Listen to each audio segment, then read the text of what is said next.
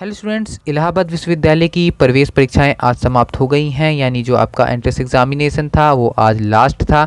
जो entrance examination आपका 18 अक्टूबर से स्टार्ट हुआ था, आज 30 अक्टूबर को उसका समापन हो चुका है। इसके बाद आपके रिज़ल्ट की प्रक्रिया तेज़ हो जाएगी। आज जिन भी स्टूडेंट का एग्ज़ाम था एलएलबी का, वो अपना कमेंट बॉक्स में प्रतिक्रिया ज़रूर बताएँ कि कैसा एंट्रेंस एग्जामिनेशन आप पेपर आया था हार्ड था आसान था, कौन से पोर्सन आपको ज़्यादा हार्ड लगा।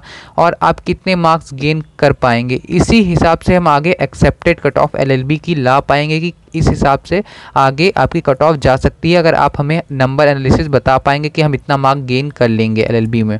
ठीक है? तो पूरी कट ऑफ़ हम आपको कैटेगरी वाइज आगे एलएलबी के लिए भी बताएँगे। इससे बात बता दूँ, अब रिज़ल्ट की बात करें तो जो रिज़ल्ट है आपका दीपावली तक तो, तो बिल्कुल नहीं आएगा क्योंकि अभी आपका तीस तारीख आज यानी एंट्रेंस एग्जामिनेशन खत्म हुआ है। तो second week of October U G का रिज़ल्ट आएँगे।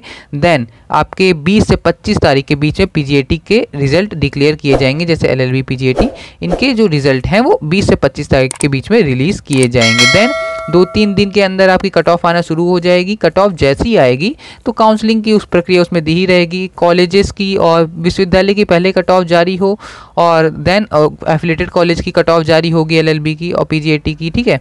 तो 20 से 25 मान के चलिए आपके रिज़ल्ट आएँगे देन दो तीन दिन के अंतर में।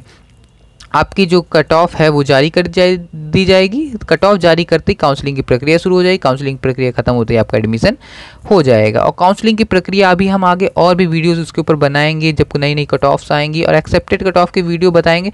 बनाएँगे जब आप हमें एनालिसिस कमेंट में बताएँगे कितने मार्क्स आप गेन कर पाएँगे इस एंट्रेंस एग्जामिनेशन में। आपको पेपर कैसा लगा हार्ड लगा, पूरी आप जानकारी हमें कमेंट बॉक्स में बता सकते हैं और अपनी प्रतिक्रिया बता सकते हैं, क्या दिक्कतें हुई आपको एंट्रेंस एग्जामिनेशन में। ठीक है? तब तक के लिए चलिए, धन्यवाद। आगे ऐसी वीडियोज़ आपके लिए लाते रहेंगे। चैनल को सब्सक्राइब कर लें और बेलाइकन को प्रेस कर लें।